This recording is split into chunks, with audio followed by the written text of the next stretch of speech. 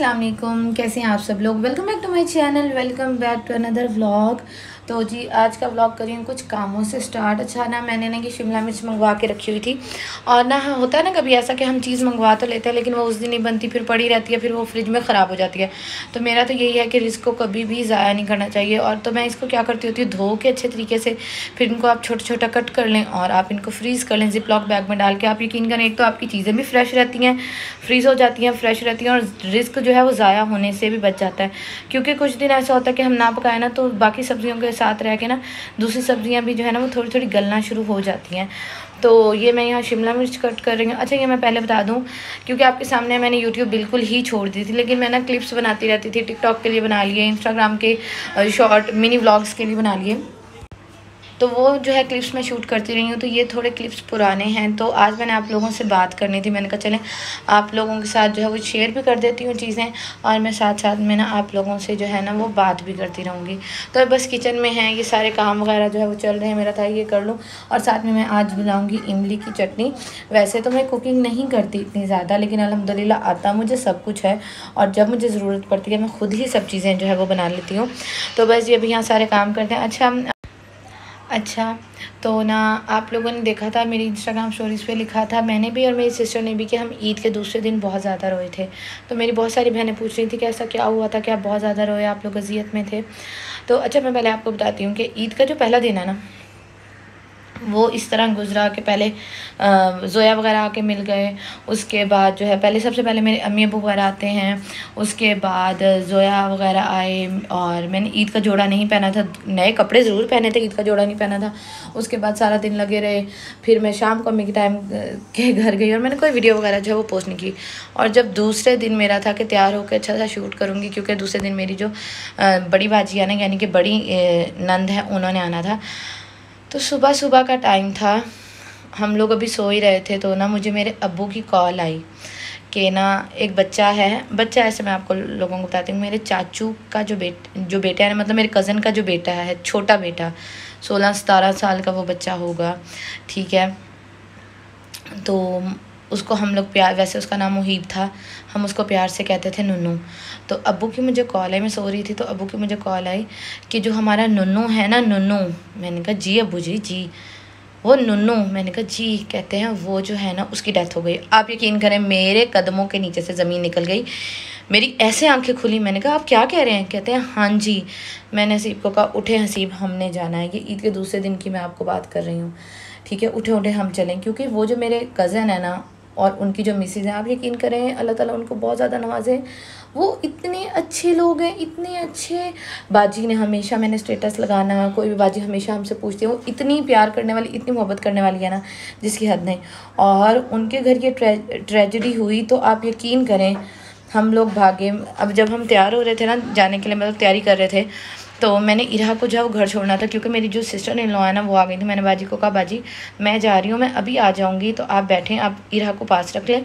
और इरा की दादू भी पास थी। मैंने कहा, मैं मिनहा को ले जाती हूँ। तो उन्होंने कहा, चलो ठीक है।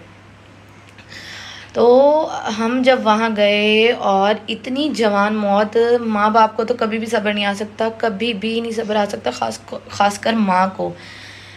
तो हम लोग वहाँ गए। आप यकीन करें, रो रो के बुरा हाल। बच्चा हमने अपने हाथों में खिलाया। आप ये देखेंगे, मैंने वो बच्चा अपने हाथों में खिलाया हुआ है। छोटा सा वो बच्चा। अब सोलह सतारह साल का वो बच्चा। अब जब अम्मी के घर, रमज़ान में अम्मी के घर अफ्तारी हुई, वहाँ भी नज़र आया। एक और कज़न के घर अफ्तारी हुई, वहाँ भी वो बच्चा हमें नज़र आया। सलाम करना बहुत प्यारा उसने रमज़ान के माशाल्लाह सारे रोज़े रखे। और ईद के दूसरे दिन ये ख़बर आ गई और उसके ना तबीयत ख़राब थी।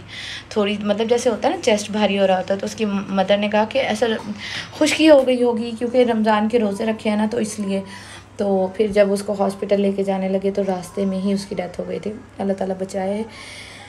अल्लाह ताला ने जब औलाद दिया ना तो औलाद का दुख किसी माँ बाप को भी ना दिखाए, किसी दुश्मन के बच्चों का दुख भी ना दिखाए। आमीन सुब आमीन। तो ना ये वजह थी जिससे हम लोग बहुत ज़्यादा रोए। अल्लाह ताला, आप लोगों ने दुआ करनी है कि अल्लाह ताला उस बच्चे को जन्नत में आला मकाम अता करें और मेरी बाजी और मेरे भाई को बहुत ज़्यादा सब्र अता करें। मौत बर हक है, आनी है हर किसी को। लेकिन ना हम यही सोचते हैं, जब माँ बाप बन जाते हैं ना कि हमें कुछ हो जाए, हमारे बच्चों को कभी कुछ ना हो। तो यही, हर माँ बाप का यही हाल होता है। तो वहाँ बाजी भी ऐसे बाजी उसका मुँह पकड़ के बैठी और वो ऐसे था कि जैसे माशाल्लाह अभी उठ जाएगा।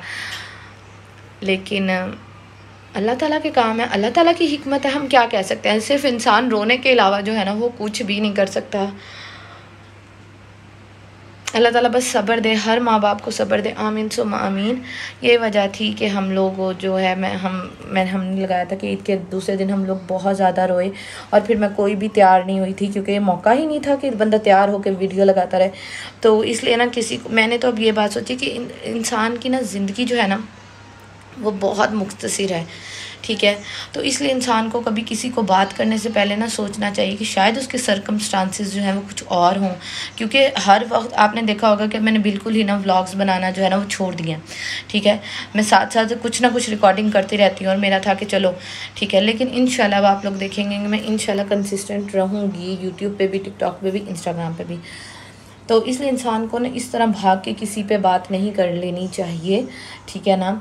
अनलेस आपको पता हो उसकी सिचुएशन का सारी का। खैर, बाकी जो है ना, आप लोगों ने लाजमी दुआ करनी है कि अल्लाह ताला मेरे भाई और मेरी जो भाभी हैं, उनको सब्र दे। लेकिन माँ के दिल को कभी भी सब्र नहीं आ सकता, कभी भी सब्र नहीं आ सकता। अभी मैं जाऊँगी उनके घर दोबारा उनको मिलने के लिए। लेकिन यकीन करें, हिम्मत ही नहीं होती। हिम्मत इसलिए नहीं हो रही कि वहाँ जाऊँगी, बाजी का दुख दोबारा से ताज़ा हो जाएगा। लेकिन इंशाल्लाह मैं जाऊँगी, क्योंकि वो भाई और भाभी ने हमें बहुत ज़्यादा प्यार किया हालाँकि वो मेरी कज़न है, लेकिन हम उनको भाभी कहते हैं, बाजी कहते हैं। और वो हमें बहुत ज़्यादा प्यार करते हैं, अल्लाह ताला बस उनके बाकी बच्चों की जो है वो लंबी ज़िंदगी करें, उनको सेहत वाली ज़िंदगी अदा करें। आमीन सो आमीन। तो यही रीज़न थी तो मैंने कहा, चले आप लोगों के साथ जो है वो शेयर कर दूँ। तो बस जी और बाकी इन व्लॉग जो है वो अब आया करेंगे। मैं व्लॉग जो है वो अपलोड किया करूँगी, और टिकटॉक का लिंक मैंने नीचे डिस्क्रिप्शन बॉक्स में डाला हुआ है। वहाँ भी आप लोगों ने मुझे लाजमी फ़ॉलो कर लेना है टिकटॉक पे भी इंस्टाग्राम पे भी लाजमी फ़ॉलो करें। बाकी जो है, फिर मैंने आप यकीन करें, मैंने व्लॉग्स बनाए ही नहीं ना ईद के तीसरे दिन का, ना चौथे दिन का। बहुत मुश्किल से मैंने कुछ वीडियोज़ जो है वो रिकॉर्ड की थी तो वो मैंने जो व्लॉग है वो शेयर कर दिया था फिर। वो भी तब किया, जब जोया के घर हम लोग गए ना तो तब मैंने किया था।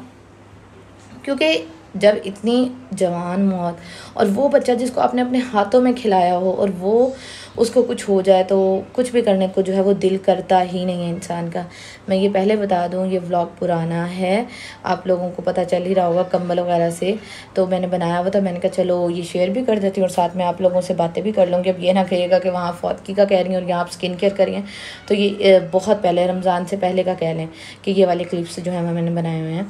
तो मैं बस आप लोगों के साथ शेयर बहुत ज़्यादा लेट कर रही हूँ, ठीक है? तो क्योंकि हम लोग ना नेगेटिव दूसरों के बारे में बहुत जल्दी सोच लेते हैं कि अब आप बात क्या कर रही हैं और आपने जो है वो पीछे क्या है अब बाकी पीछे देख सकते हैं कि कंबल वगैरह हैं और कंबल वगैरह चल रहे हैं। कंबल वगैरह निकले हुए हैं। ठीक हो गया और पंखे वगैरह कोई नहीं चल रहे तो मतलब सर्दियाँ थी। तब ये ठीक हो गया। तो बस जी, यही था मेरा आज का व्लॉग उम्मीद करती हूँ आप लोगों को पसंद आया होगा। और अगर पसंद आया तो जाते जाते लाइक कर दीजिएगा। और प्लीज़ लाजमी कमेंट सेक्शन में दुआ लिखिएगा कि अल्लाह ताला उस बच्चे को जन्नत में आला मकाम अता फ़रमाए और मेरे भाई और भाभी को सब्र अता दें। करें। आमीन। सो मामीन, अपना ख्याल रखिएगा। अल्लाह हाफिज़।